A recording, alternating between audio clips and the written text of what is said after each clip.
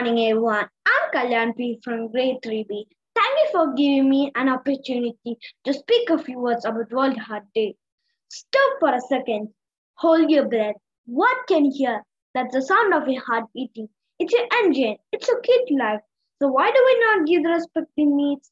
We believe all 7 billion humans on the planet have right to a healthy heart. Fill your body with good. Think healthy. Think natural. Even small changes can make a big difference. So stay active, play, cycle, dance, take the stairs, give your heart a chance, reduce stress, smile more, live more. You only have one heart. Because without a beating healthy heart, everything just stop. Promise to make every heart healthier on this World Heart Day.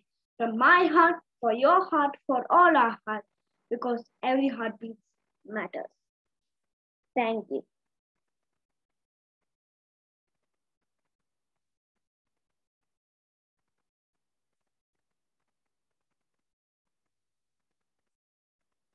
Sure.